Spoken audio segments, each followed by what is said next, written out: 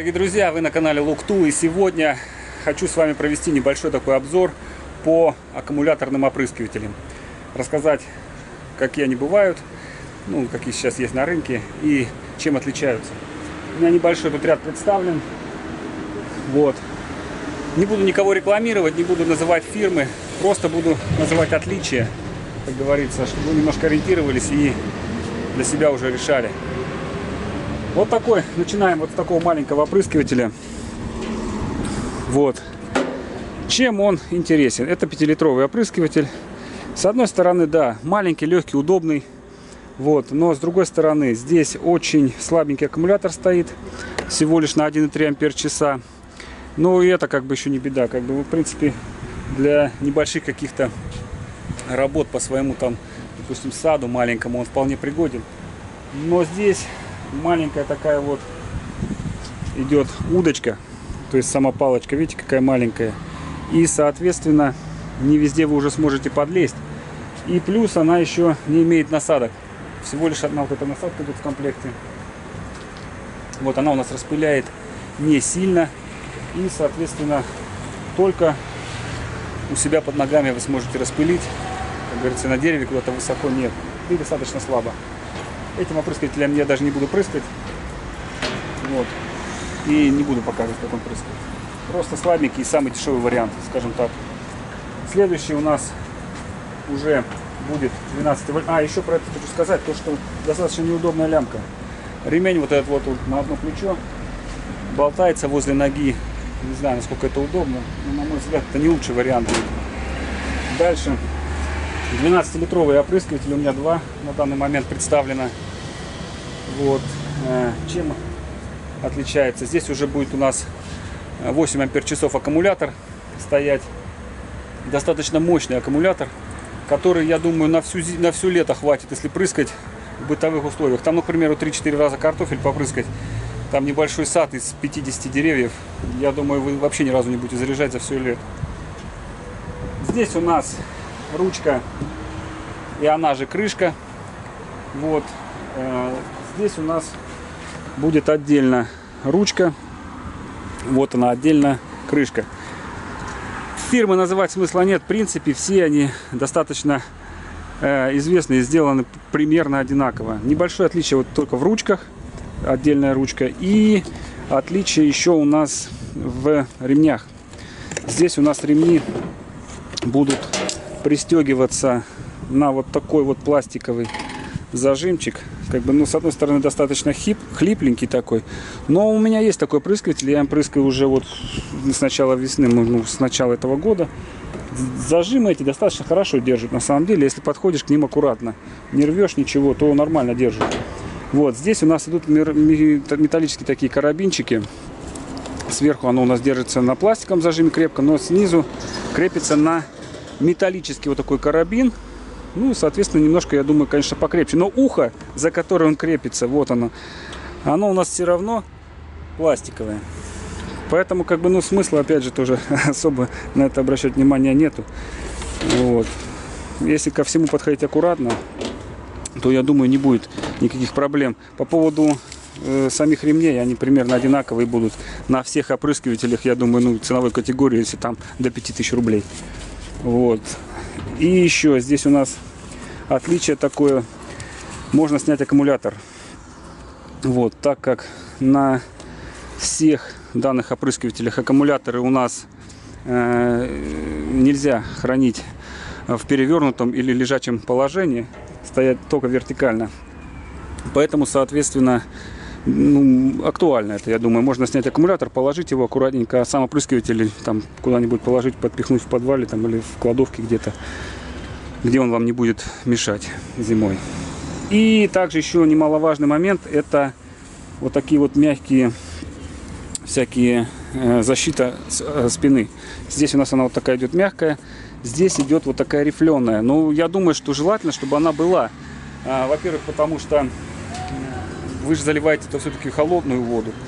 И если кто-то э, прыскает без защиты, я имею в виду ни в куртке, ни в какой, да даже в куртке, она все равно будет промерзать и спину будет холодить. Поэтому лучше выбрать, чтобы это все-таки этот элемент присутствовал. Я имею в виду какая-то защита спины.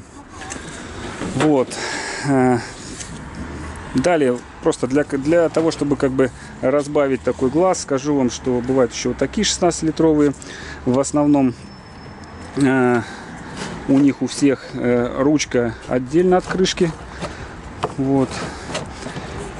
Ну, вот такой конструкции бывает. У всех еще э, стоит индикация, которая нам показывает уровень заряда батареи. И разъем под э, зарядное устройство. И еще также один такой немаловажный момент. На некоторых опрыскивателях присутствует, на некоторых отсутствует у нас э, регулировка регулировка сейчас я вам покажу. Вот здесь у меня она. Регулировка давления то есть вы можете уровень распыления сделать поменьше или же побольше.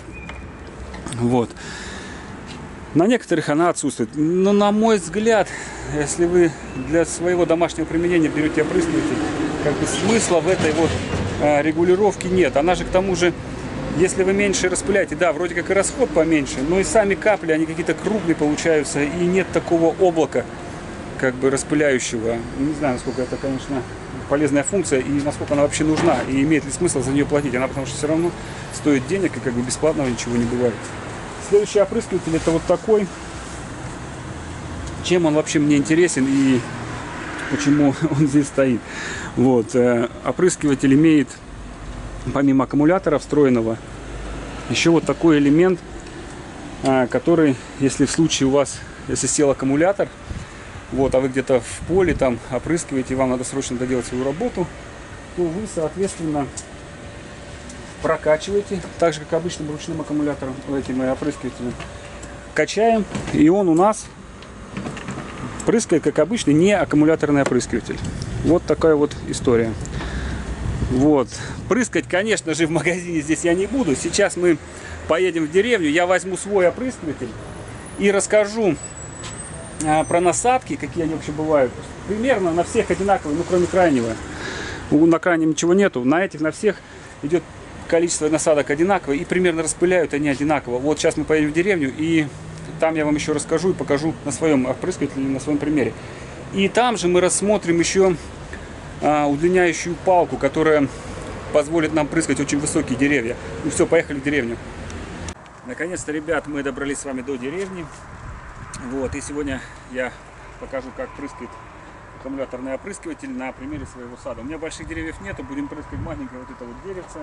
Вот, набрал я свой опрыскиватель а, простой водой, пока без всякой химии. Просто ради того, чтобы показать принцип работы. И еще хочу рассказать про то, если у вас большие высокие деревья, э, про удлиняющую телескопическую удочку. Родная удочка, такая вот небольшая. Вот такие, как у меня, к примеру, деревья, даже чуть повыше, вы спокойно справитесь при помощи родной вот такой удочки. Она тоже телескопическая, ее можно сделать покороче вот до сюда, если вам неудобно. Или же вот, откручиваете, штуку засовываете. Вот. Или же на полностью, как у меня, вот это вот максимальная ее длина родной удочки. Но благодаря насадкам можно попрыскать даже достаточно большой, вот, к примеру, как соседом там. Прежде всего включаем опрыскивателем э, кнопочкой положения ON, включаем и нажимаем на клавишу подачи. Если где-то начинает подкапывать, значит просто плохой, плохое соединение, надо посильнее затянуть и все, будет нормально все работать. Вот, это стандартная насадка практически на всех опрыскивателей, она бывает такая два сопла. Очень хорошее распыление, им распыляем э, картошку, прыскаем, помидоры и также можно деревья прыскать небольшие вот такие. Вот видите, я в принципе вполне спокойно достаю, чтобы попрыскать мои деревья. А если у вас выше деревья, можно применить другую насадку, которая, ну, в моем, э, она идет в комплекте. Если у вас не идет, можно купить отдельно. У нее задача э, выше закинуть капли, но, соответственно, сами капли будут крупнее. Легкую пыль высоко не забросишь. Вот, она делает покрупнее капли и, соответственно, они летят выше. Вот так вот она выглядит. Вот. Одеваем, закручиваем.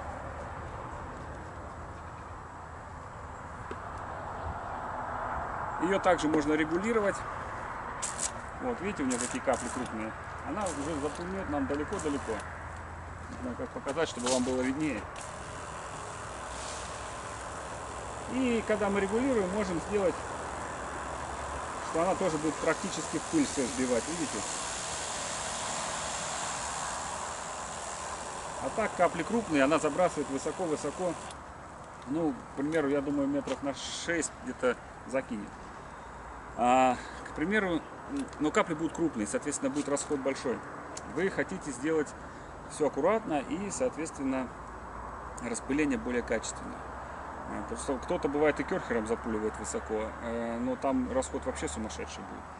Если же вам надо так сделать аккуратно и высоко, можно применить э, отдельно, купив вот такую вот телескопическую удочку, которая нам, э, ну вот я взял самую длинную, которая у нас в магазине есть, это трехметровая. Стоит она 770 рублей у нас. Вот. Она универсальная и рассчитана на любой опрыскиватель, не только аккумуляторный, но и простой и такой, как его, ну, обычный ручной, который вы качаете при помощи насоса такого. Сейчас мы как-нибудь распакуем, конечно.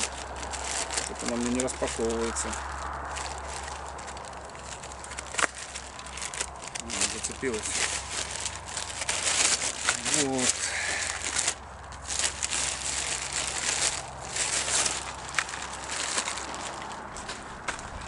Так, и что мы здесь видим? Ну, соответственно, вот этот шланг, он нам не нужен. Это для э, таких опрыскивателей, которые насосом накачиваются.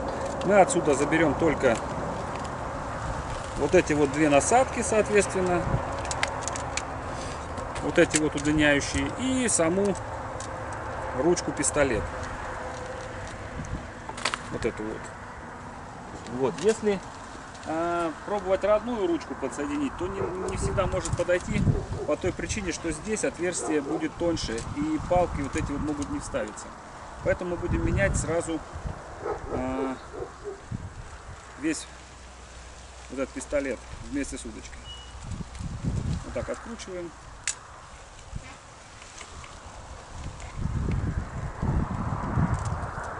И прикручиваем уже вот этот пистолет.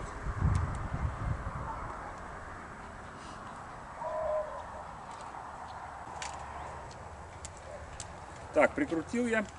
Теперь смотрите, какая история. Можно э, использовать, соответственно, без вот этого вот дополнительного метра. У вас останется только сама вот эта метровая часть.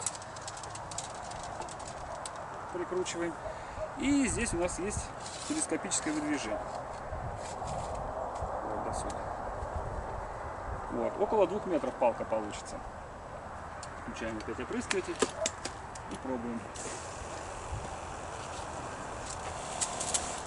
Видно или не видно? А вот оно, видите, распыление такое. Уже можно спокойно гораздо выше моего дерева попрыскать. Вот. Если же вам все-таки э, надо выше еще, тогда мы выключаем и добавляем еще дополнительный метр. Но это, конечно, уже для очень высоких деревьев.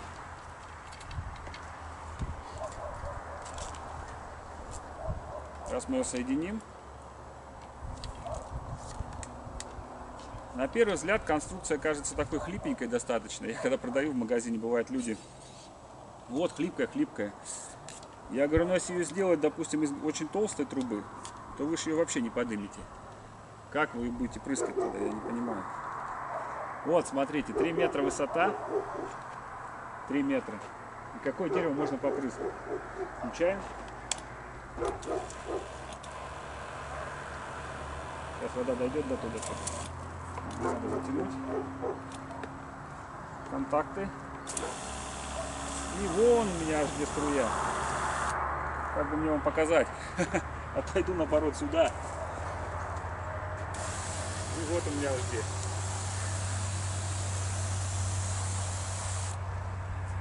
Вот, соответственно, я вот где-то метр восемьдесят у меня рост, э, и плюс здесь 3 метра. Вот, я могу спокойно, не распыляя крупными каплями, к примеру, используя вон ту насадку, прыснуть на 5 метров. Вот, просто так подняв руку и спокойно побрызнув. Вот такие вот моменты. Выключаю.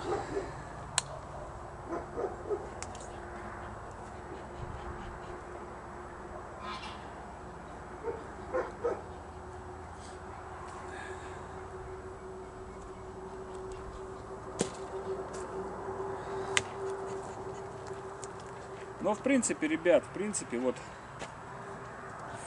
как бы я понимаю, это не особо дорого, 700 рублей, да?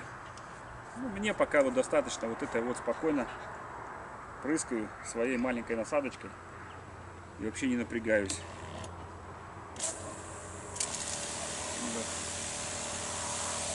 Если надо, а, я сейчас очень часто прыскаю розы, примерно их там раз в две недели, наверное.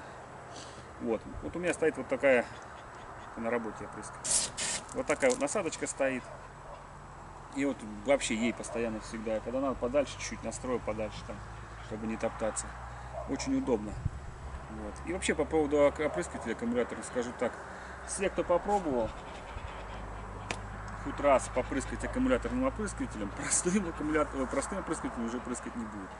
Вот, вот так я закончу видео. А, кто хочет посмотреть внутреннее устройство, из чего состоят они, а, я сниму дополнительно это уже в помещении. Вот, смотрите дальше. Кто нет, спасибо за просмотр. До свидания.